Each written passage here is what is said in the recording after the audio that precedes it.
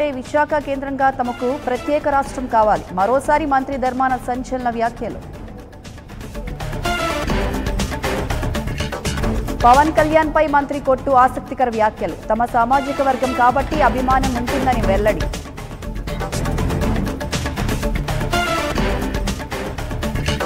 సోమేష్ కుమార్ను ఆంధ్రప్రదేశ్కు కేటాయిస్తూ ఉత్తర్వులు. ఎల్లుండిలోగా ఏపీలో రిపోర్ట్ చేయాలని ఆదేశం.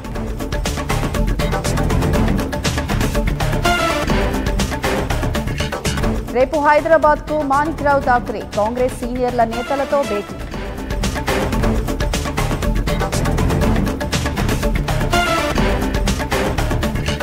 శ్రీవారి టికెట్ల జారీపై టీటీడీ కీలక నిర్ణయం. ఇకపై రోజుకు వెయ్యి మందికి మాత్రమే టికెట్లు.